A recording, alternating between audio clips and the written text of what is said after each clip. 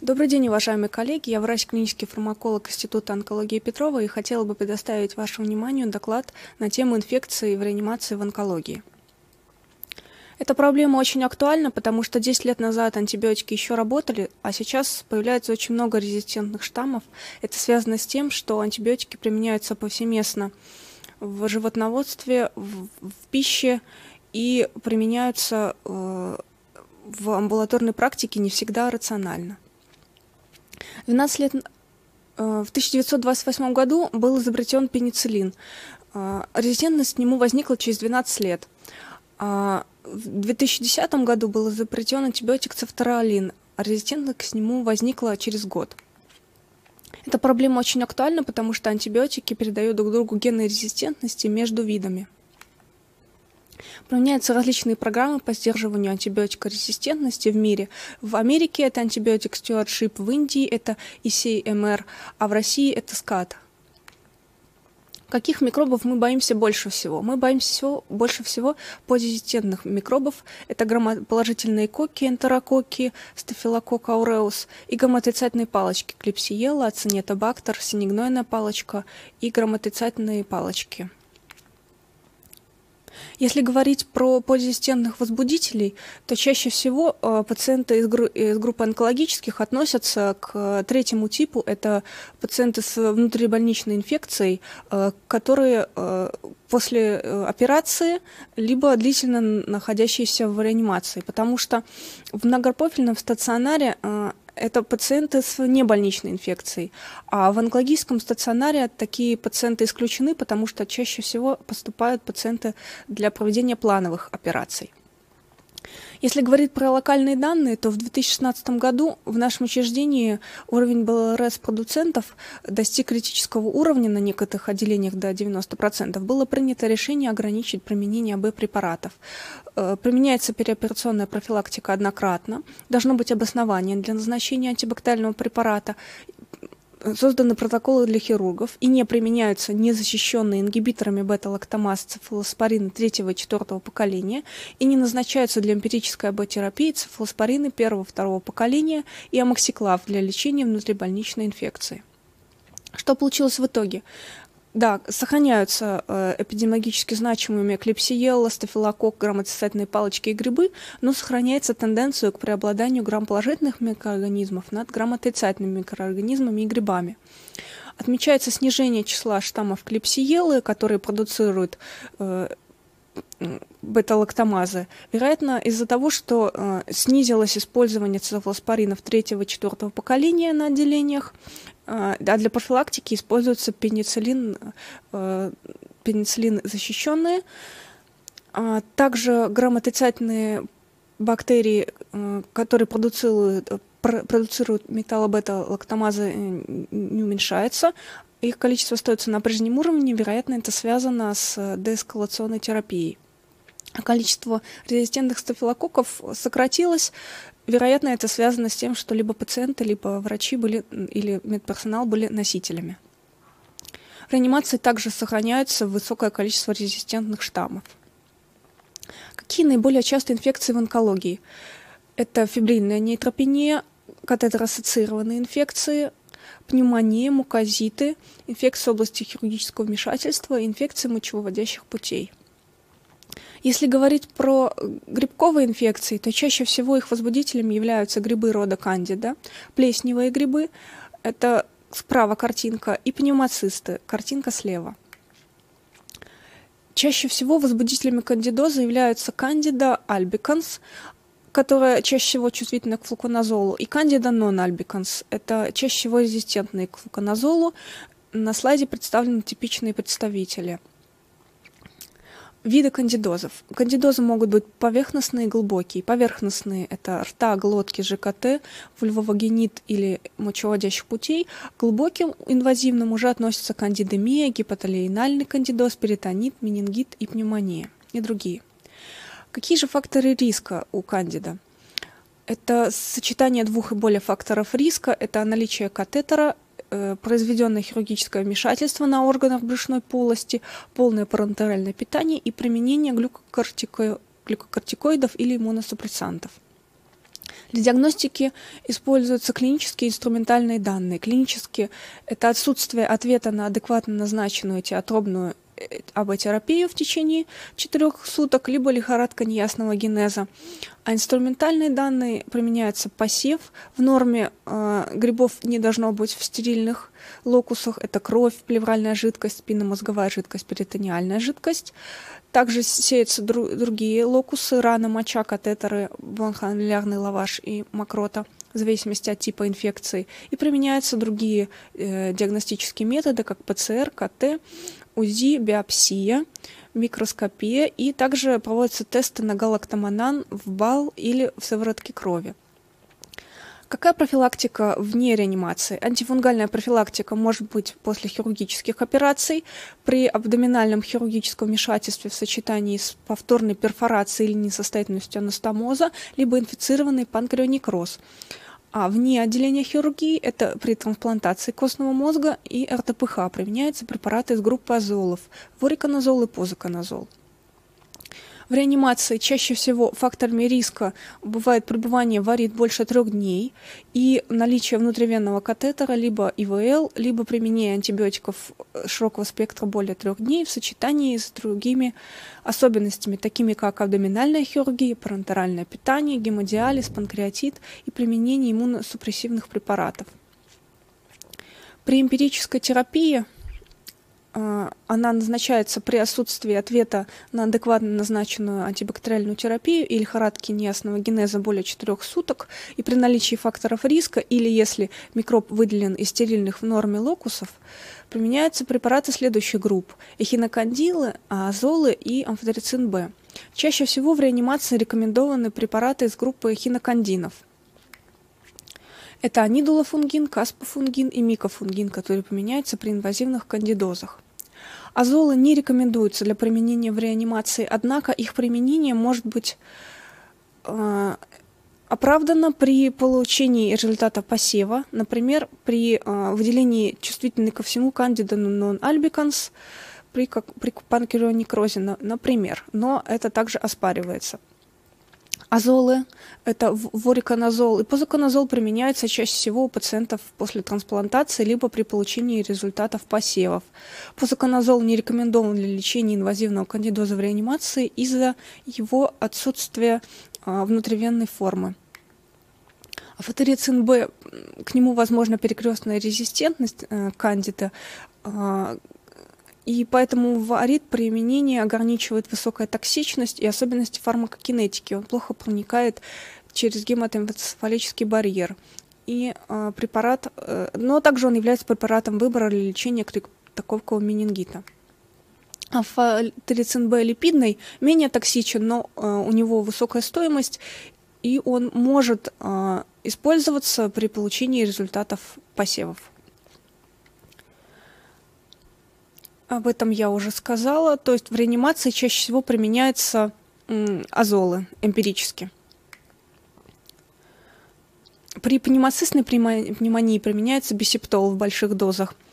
При инвазивном аспергиллезе и других плесневых грибах э, применяются различные комбинации перечисленных э, препаратов э, трех групп. Если говорить про противовирусную терапию, при э, вирусе герпеса первого, второго, третьего типов используется ацикловир, валоцикловир и фамцикловир.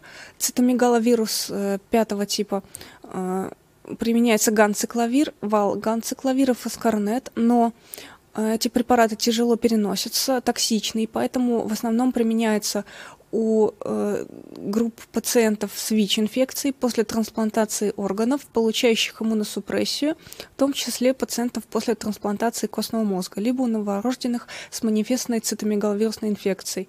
Специфических противовирусных препаратов для лечения инфекционного мононуклеоза ВГЧ 4 типа не разработано. Для лечения ВГЧ 6 и 8 типа офф-лейбл применяется ганцикловир.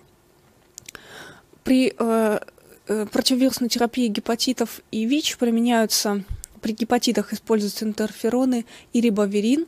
При гепатите С, при гепатите Д используются интерфероны, при гепатите Б интерфероны, ламивудин, энтекавир и другие перечисленные на слайде. Во всех случаях интерфероны применяются парентерально. При ВИЧ-инфекции антиретровирусная терапия. Если говорить про терапию ОРВИ, применяются блокаторы М-каналов, э, римонт-1, и ингибиторы нейроминидазы, осельтамивир и занамивир. Но препараты, э, согласно последним данным, сокращают течение гриппа менее чем на сутки, однако используются при тяжелом его течении. Респираторно-социальный вирус при, э, применяется при тяжелом бронхиолите у детей первого года, но это ингаляционная форма рибоверина в России не зарегистрирована. Также используется моноклональное антитело паливизумаб. Лечение инфекции в реанимации очень дорого. Чтобы э, произвести лечение такого полиозитентного штамма, необходимо применять комбинации двух, трех и четырех препаратов. Почему антибиотик не работает? Во-первых, может быть нарушение проницаемости, поломка парина. Э, парины э, наружной мембраны обеспечивают транспорт питательных веществ в бактериальную клетку. Может быть инактивация антибиотика ферментами. Может быть модификация мишени. Про антибиотику просто не на что воздействовать. Может быть защита мишени, белки, которые экранируют мишень либо эфлюкс – активное выведение антибиотика наружу. Более подробно можно увидеть на этой картинке – нарушение проницаемости, активное выведение через, э, при помощи эфлюкса, модификация мишени действия и инактивация антибиотика. У нас, были, э, у нас применяются следующие протоколы стартовой эмпирической терапии. Если говорить про реанимацию, используются э, препараты из группы карбопинемов и э, анти-МРСА препараты. Какие чаще всего в инфекции в реанимации? Инфекции в реанимации чаще всего полирезистентные, потому что чаще всего пациент э, получал уже антибактериальную терапию на отделении. Полирезистентные также могут быть флора, которая находится в реанимации, либо грибковые, так как пациент получил массивную антибактериальную терапию, а грибы и бактерии лучше всего существуют вместе в составе биопленки, на которую сложно воздействует антибиотику. Если э, говорить о том, какие факторы риска при внутрибольничных инфекциях, врага нужно знать в лицо. Поэтому на каждом слайде я представила картинку, чтобы было более наглядно. Если говорить про э, метицилинозистентных стафилококков, обычно это высокий уровень их в отделении, предшествующая антибактериальная терапия, предшествующая госпитализация, наличие катетеров, назальное носительство, либо язвы и пролежни. Если говорить про БЛРС-продуцентов, то есть э, грамотосательных палочек, которые вырабатывают ферменты, которые разрушают пенициллины и цефалоспорины, это госпитализация в течение предшествующих трех месяцев, прием антибиотиков, пребывание в учреждении длительного ухода, гемодиализ и сопутствующая тяжелая патология. Сюда же, наверное, можно отнести онкологических пациентов. Если говорить про синегнойную палочку, здесь уже все сложнее. Это длительное нахождение в реанимации, ИВЛ более 4 суток, наличие уретрального катетера, бронхоэктазы, муковисцидоз. Если говорить про таких э, резистентных возбудителей, как, синег... э, как стендрофомонос мальтофилия, это неферментирующий горматоцитный микроорганизм из группы синегнойной палочки, который исходно обладает природной резистентностью ко многим лекарственным средствам вызывает инфекцию пациентов со сниженным иммунитетом. Он природно чувствителен только к трем антибиотикам. При этом бисептол применяется в увеличенной дозе, как на пневмоцисту. Если говорить про булкардерию сипацию, это микроорганизм из той же группы, но исход, и также исходно обладает природной резистентностью, и на него могут воздействовать только четыре антибиотика. Опять же, бисептол в высоких дозах.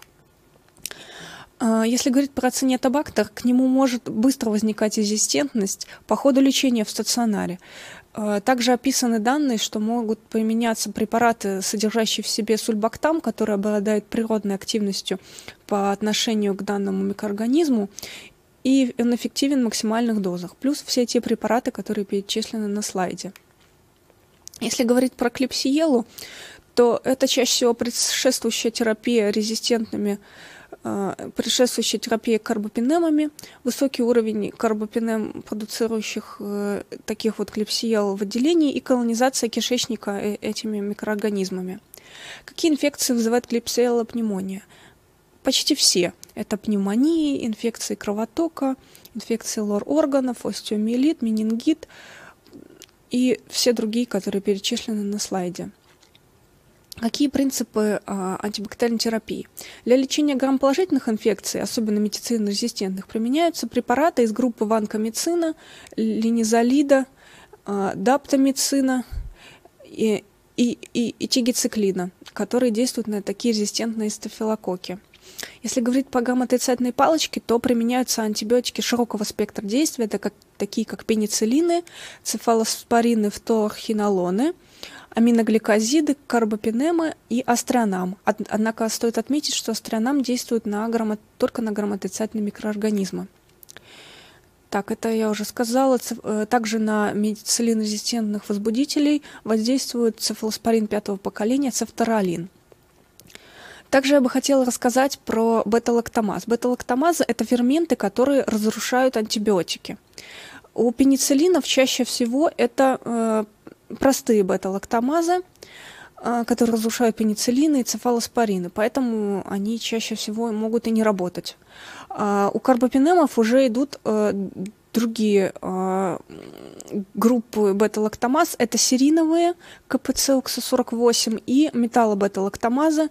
Э, если еще на, на сериновые изобретаются лекарства, то на бета-лактамазы в настоящее время в России препаратов не зарегистрировано. Используются только резистент, только множественные комбинации из нескольких антибиотиков.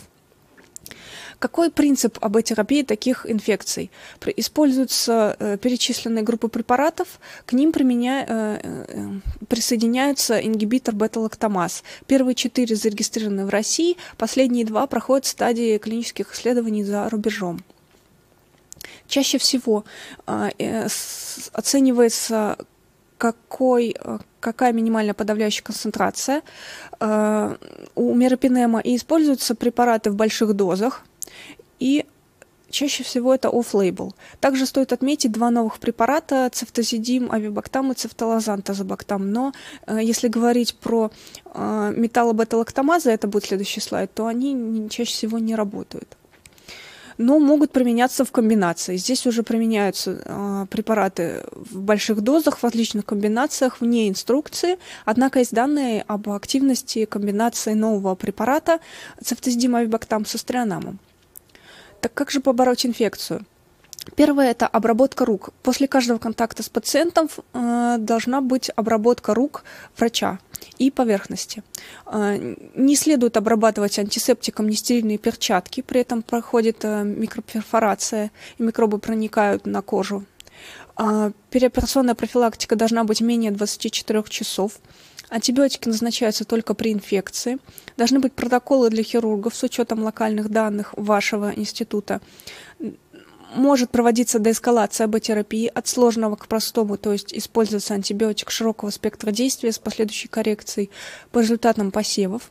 А, описано то, что в этом случае смертность ниже, чем при э, эскалационном подходе, когда какому-то антибиотику, допустим, в торхинолону добавляются другие препараты по очереди по ухудшению состояния пациента. Но э, в случае использования этого подхода э, чаще всего э, может формироваться резистентность. Также должна быть команда людей, которые организовывают протоколы, которые следят за эпидситуацией. Также должна проводиться разработка новых лекарств. В настоящий момент в России зарегистрировано только два препарата, которые не действуют на крайне резистентные металлобета-лактамазы. Дальше э, в стадии клинических исследований препараты из группы карбопинемов или цефалоспоринов с каким-нибудь ингибитором. Также используются акти... Э, э, не бета-лактамные антибиотики, но они чаще всего на инфекции мочевыводящих путей, плазомицин из группы аминогликозидов. В настоящий момент э, FDA одобрено только три препарата, а остальные находятся в стадии клинических исследований.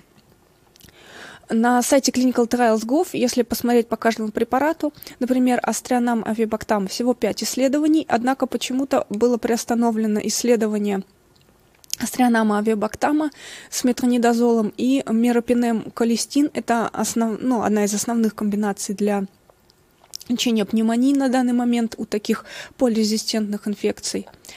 А, имипинем, целостатин, релибактам всего 11 инфекций, в основном инфекции мочевыводящих путей. А, однако также э, э, используют Однако также сейчас идет набор пациентов для лечения пациентов э, с бактериальной пневмонией. Цифипим, Зидобактам сейчас только почему-то только три исследования, все завершенные, но на здоровых добровольцах. Цифидекарол только 8 исследований. Есть исследования в третьей фазе, данные не представлены. И плазомицин, 8 исследований, 4 отменены, данные не представлены. Есть надежда у нас на цифидекарол, но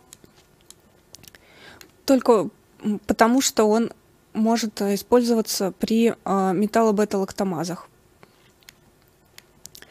При подготовке данной презентации использованы следующие сайты. Литературу вы можете найти в интернете, она есть в свободном доступе. Спасибо за внимание.